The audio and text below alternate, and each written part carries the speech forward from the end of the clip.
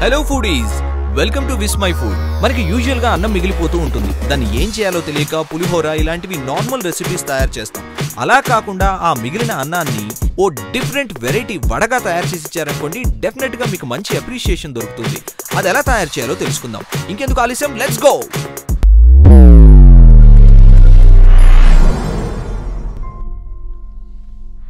ఈ అన్నం వడకి ఓ cup rice కావాలి. ఈ అన్నాన్ని బాగా చేత్తో ఒత్తుకోవాలి. ఎంత బాగా ఒత్తుకుంటే అంత బాగుంటాయి వడలు.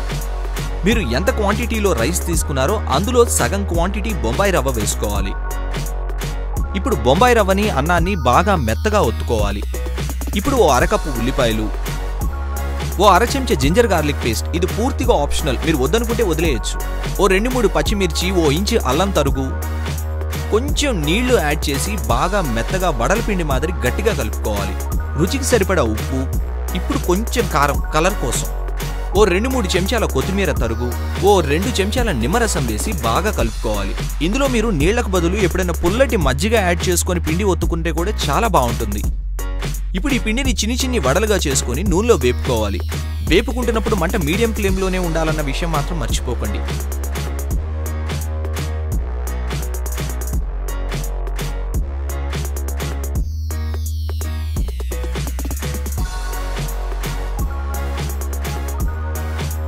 ఇవి ఎర్రగా వేయించుకుని కొబ్బరి చట్నీతో కానీ అల్లం చట్నీతో కానీ సర్వ్ చేయండి. డెఫినెట్గా అందరికీ నచ్చేస్తుంది.